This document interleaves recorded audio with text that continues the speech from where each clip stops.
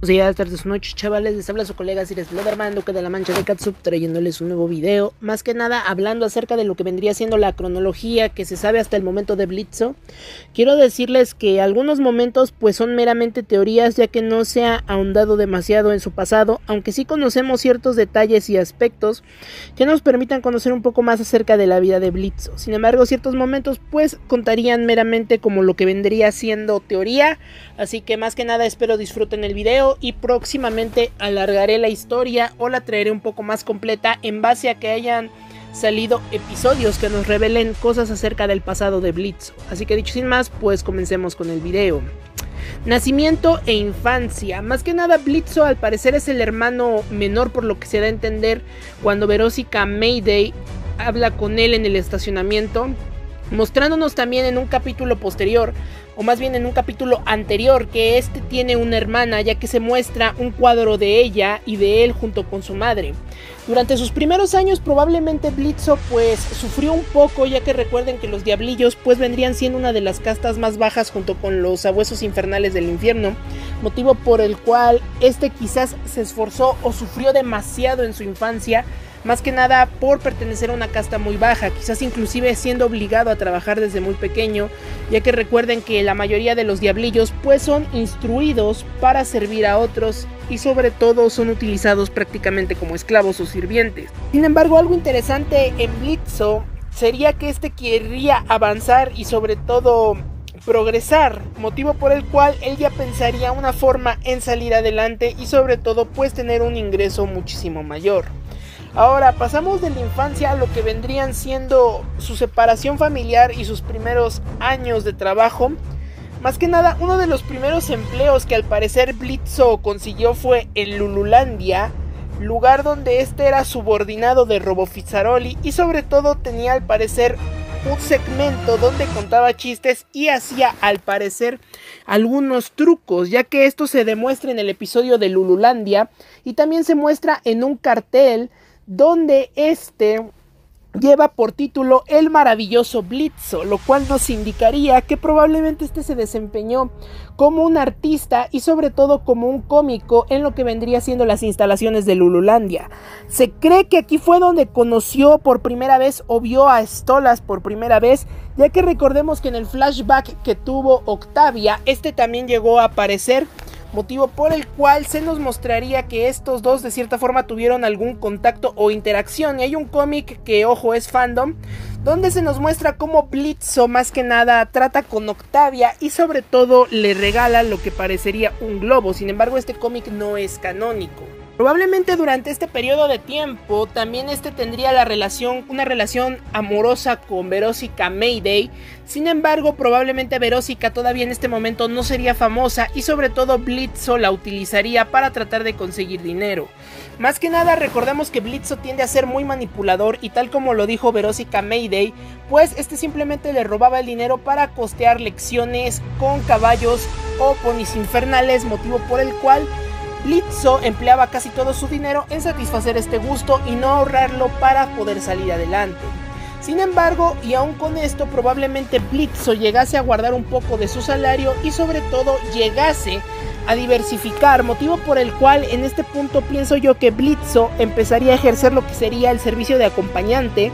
Recordemos que Robofizzaroli también tenía esta función tan curiosa. Lo más interesante es que probablemente Blitzo sirvió a Mamón, básicamente fue subordinado de Mamón, ya que recordemos que Mamón es el dueño de Lululandia, así como también es el dueño de Robofizaroli y su creador. Pienso yo que ya de manera un tanto independiente, pues empezó a ejercer como acompañante al mismo tiempo que Robofizaroli. Es aquí donde él destacó más, ya que recordemos que tiene una foto donde este aparece como el acompañante, dice otra palabra, pero vamos a decir acompañante para que YouTube no nos censure el video, número uno, lo cual nos diría que sus servicios eran bastante contratados, entre comillas, puede que él le hiciera competencia a Angel 2 en dicho servicio.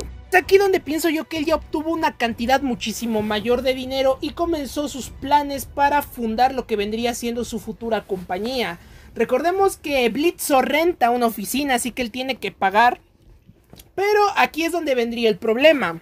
Es que Blitzo como tal no podría entrar al mundo humano ni podría acceder entre comillas de forma legal. Siento yo que aquí va entrelazado lo que vendría siendo su relación con Stolas.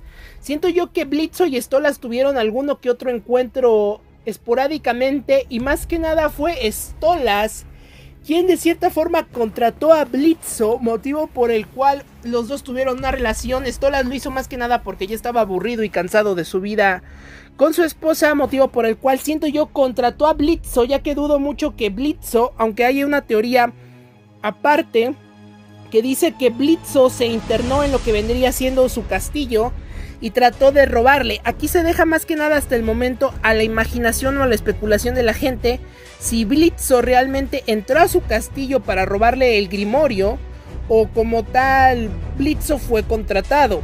Yo como tal pienso que Blitzo sería contratado ya que siento yo que él no se arriesgaría demasiado en lo que vendría siendo tratar de robarle a un demonio de linaje bastante superior, sería algo muy arriesgado. Pero aún así después de esto pues Stolas desarrollaría cierto sentimiento o emoción con él. Inclusive puede que el mismo Stolas al conocer un poco el futuro pues supiese de él y decidiese ayudarlo. Ya que probablemente Blitzo forme parte de algo más grande y que probablemente en un futuro se nos muestre. Ya después de ello pues Blitzo empezaría su compañía. Más que nada siento yo que antes de esto ya había adoptado a Luna y había conocido a Moxie y a Millie motivo por el cual ya teniendo todo estructurado y sobre todo ya teniendo una base, pues iniciaría lo que vendría siendo su negocio hasta formar lo que vendría siendo su compañía IMP, que hasta el momento es una de las compañías más exitosas de Geluba Boss, ofreciendo un servicio de venganza, retribución y sobre todo de mercenarios dispuestos a matar por el precio correcto. Y bueno gente, espero hayan disfrutado el video. Como les dije, gran parte de esta cronología es teoría por el motivo de que no se nos ha revelado mucha información, simplemente tomando los datos más importantes de la vida de Blitzo que se han mostrado en los últimos cuatro capítulos, tres capítulos de Geluba Boss. Próximamente veamos si pasa algo en el capítulo 4 y 5. Por el momento esto ha sido todo. Antes de irme quiero enviarle un saludo a Verósica Max, Frank Universe, Tomás Cisneros, Geluba Voz, Master Octavia, Princesa Octavia Geluba Voz, Señor Estolas, Maestro Astral, Dragón Fernando, Bob Espuma, Patricio Cisneros, Patricio Salgado, Frank Uchija, Verónica Martz, Frank Espejel, señor Looper 34, Mr. Uchija y Jan Chang. Bueno, gente, les hablo a sus colegas y les Blooderman, deseándoles un gran día. Taya Geluba Voz, Martin Universe, Frank Espejel, Martin Uchija, Tomás Cisneros, Mark Salgado, Frank Martz. La Martz 24, Steven Universo y recuerden que estaré enviando también los videos, los saludos de videos anteriores por si no escucharon su saludo en este video. Bart Smart y el Bartman. Bueno, gente, les hablo su colega Siles Bloderman deseándoles un gran día. Taya Geluba Voz, Martin Universe, Frank Espejel, Martin Uchija, Tomás Cisneros, Mark Salgado, Frank Martz, la Martz 24, Steven Universo. Y recuerden que estaré enviando también los videos, los saludos de videos anteriores por si no escucharon su saludo en este video. Bart Smart y el Bartman. Bueno, gente, les hablo su colega Siles Bloderman deseándoles un gran día. Geluba Voz, Martin Universe, Frank Espejel, Martin Uchija, Tomás Cisneros, Mark Salgado, Frank Martz, la Martz 24, Steven Universo. Y recuerden que estaré enviando también los videos, los saludos de videos anteriores por si no escucharon su saludo en este video. Bart Smart y el Bartman. Bueno, gente, les hablo su colega Siles Loderman deseándoles un gran día. Taya Geluba Voz, Martin Universe, Frank Espejel, Martin Uchija, Tomás Cisneros, Mark Salgado, Frank Martz, la Martz 24, Steven Universo. Y recuerden que estaré enviando también los videos, los saludos de videos anteriores por si no escucharon su saludo en este video. Bart Smart y el Bartman. Bueno, gente, les hablo su colega Siles Bloderman deseándoles un gran día. Taya Geluba Voz, Martin Universe, Frank Espejel, Martin Uchija, Tomás Cisneros, Mark Salgado, Frank Martz, la Martz 24, Steven Universo. Y recuerden que estaré enviando también los videos, los saludos de videos anteriores por si no escucharon su saludo en este video. Bart Smart y el Bartman. Bueno, gente, les hablo su colega Siles Bloderman deseándoles un gran día. Taya Geluba Martin Universe, Frank Espejel, Martin Uchija, Tomás Cisneros, Mark Salgado, Frank Martz, la Martz 24, Steven Universo. Y recuerden que estaré enviando también los videos, los saludos de videos anteriores por si no escucharon su saludo en este video.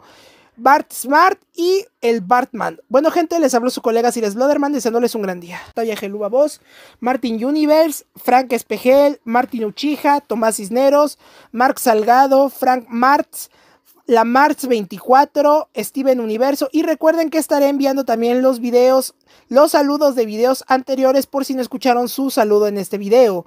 Bart Smart y el Bartman. Bueno, gente, les habló su colega Siles Bloderman deseándoles un gran día.